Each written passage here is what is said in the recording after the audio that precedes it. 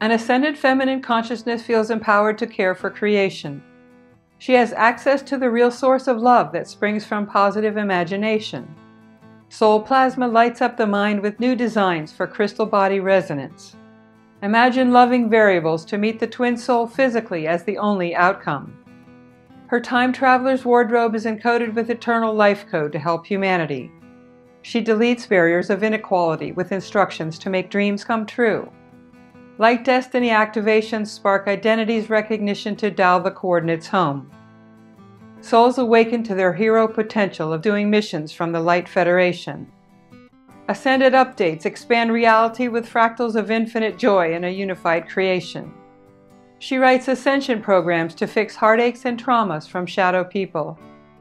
Positive imagination higher selves guide us to win meaningful personal victories. My twin soul already has light architect template awareness and knows who I am.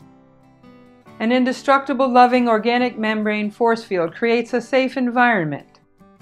Family of Light neurotissue lights up the crystal grids of the Ascended Exit City. Twin soul couples get married with avatar bonds for creative adventures together.